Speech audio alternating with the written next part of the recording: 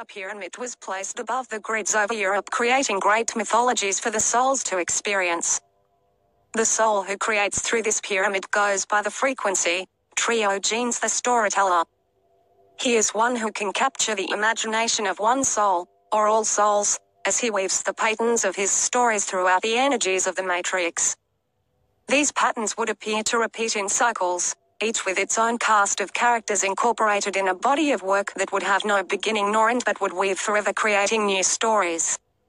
Woven into the fabric of each myth are the keys of the creational process. These myths would be regarded as the great mysteries of the creation of humanity. And these myths would take on many dimensions and lessons in which the souls could select one or more roles. Myths are not bound by space nor time, and may be entered as the souls may desire. Let us enter the halls of the pyramid of mythological rendering.